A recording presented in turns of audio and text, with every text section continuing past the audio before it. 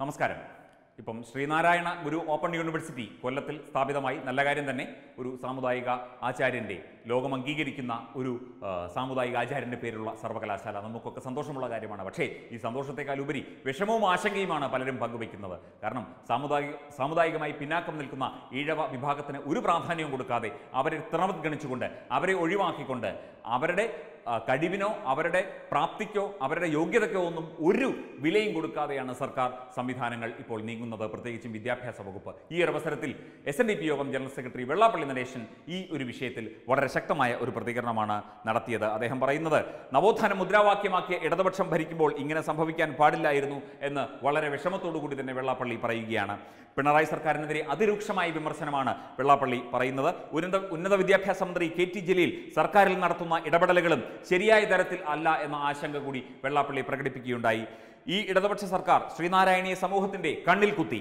അധസ്ഥിത വിഭാഗങ്ങളെ അധികാര ശ്രേണിയിൽ നിന്നും ആട്ടിയകറ്റുന്ന പതിവ് ഈ സർക്കാർ ആവർത്തിച്ചു. എല്ലാ സമുദായ അംഗങ്ങൾക്കും ഒരേ തരത്തിൽ പ്രാധാന്യം കൊടുത്ത് അധസ്ഥിത വിഭാഗത്തെ പിന്നാക്ക വിഭാഗങ്ങളെ മുന്നിലേക്ക് കൈപിടിച്ച് കയറ്റുകയാണ് നവോത്ഥാന പ്രസ്ഥാനങ്ങൾ ചെയ്യേണ്ടത്. ആ നവോത്ഥാന പ്രസ്ഥാനങ്ങളിൽ ഊന്നിയ സർക്കാർ ചെയ്യേണ്ടത്. അതല്ലാതെ തൊഴിലാളി വർഗ പാർട്ടിയുടെ സർക്കാർ ചെയ്തത് അധസ്ഥിത വർ- വർഗത്തിന്റെ കണ്ണിൽ കുത്തുകയായിരുന്നു എന്നാണ് വെള്ളാപ്പള്ളി പറയുന്നത്.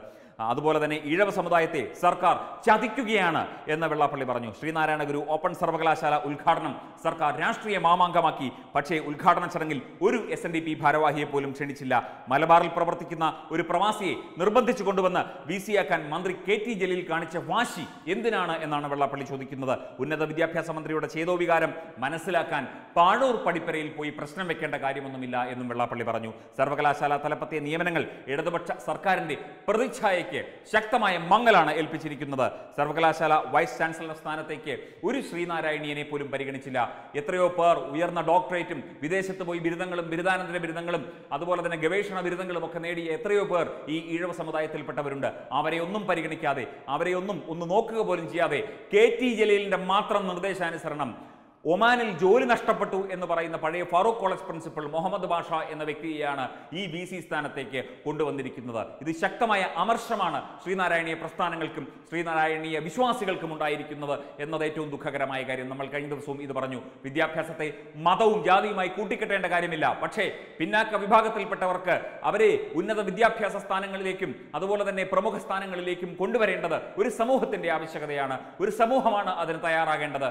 ഒരു സർക്കാരാണ് അതിന് തയ്യാറാകേണ്ടത്? പക്ഷേ സർക്കാർ ഇടതുപക്ഷ പ്രസ്ഥാനങ്ങൾ എല്ലാവരും ചേർന്ന് ശ്രീനാരായണീയ എസ് എൻ ഡി പി പ്രവർത്തകരെയും വിശ്വാസികളെയും ചതിക്കുകയായിരുന്നു ചെയ്തത്.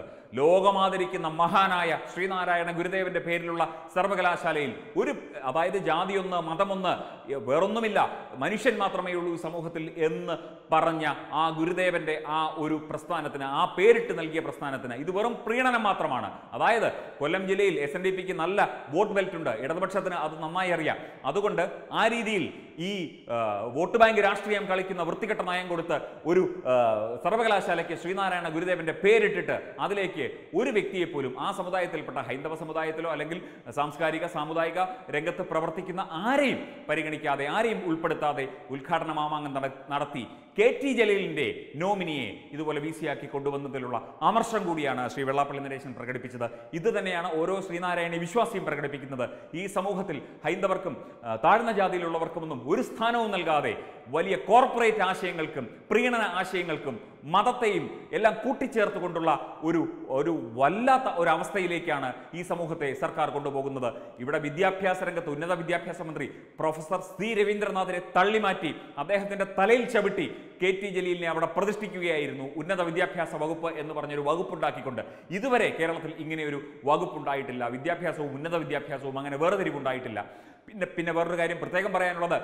ഈ കേരള സംസ്ഥാനത്തിന്റെ ആ മന്ത്രിസഭ രൂപീകരണം മുതൽ ഇങ്ങോട്ട് നോക്കുകയാണെങ്കിൽ ഒറ്റ പ്രാവശ്യം മാത്രമാണ്. ശ്രീ കെ ചന്ദ്രശേഖരൻ മാത്രമാണ് ഒരു ഹൈന്ദവനായ വിദ്യാഭ്യാസ മന്ത്രി ഉണ്ടായിരിക്കുന്നത്. മറ്റെല്ലാം ക്രിസ്ത്യൻ മുസ്ലിം സമുദായങ്ങളിൽപ്പെട്ട മന്ത്രിമാരായിരുന്നു. ഇവിടെ ഒരു ഹൈന്ദവ വിശ്വാസിയും ഒന്നും പറഞ്ഞില്ല. ഒന്നും ചിന്തിച്ചില്ല. ഒന്നും വിചാരിച്ചില്ല. ഇത് കേരളമാണ് മതേതര കേരളമാണ് എന്ന് വിചാരിച്ചു. പക്ഷേ ഇതിന് പിന്നിലെല്ലാം ഒരു അജണ്ടയുണ്ടായിരുന്നു. തുടക്കം മുതൽ ഒടുക്കം വരെ അജണ്ടയുണ്ടായിരുന്നു എന്ന് സംശയിക്കേണ്ടിയിരിക്കുന്നു. മതത്തെയും വിദ്യാഭ്യാസത്തെയും ചേർത്ത് വെച്ചുകൊണ്ട് മതത്തെയും വിദ്യാഭ്യാസത്തെയും കൂട്ടിക്കുഴച്ചുകൊണ്ട് നടത്തുന്ന ഈ വൃത്തികെട്ട പ്രീണന നാടകങ്ങൾക്ക് ഒരു അറുതി വന്നാൽ മാത്രമേ ഇവിടെ സമുദായവും സമൂഹവും രക്ഷപ്പെടൂ. അതൊന്നും ഇവിടുത്തെ സർക്കാരിന് അറിയാനിട്ടില്ല പക്ഷേ സർക്കാർ പ്രീണന നയങ്ങളിലൂടെ കടന്നുപോയി.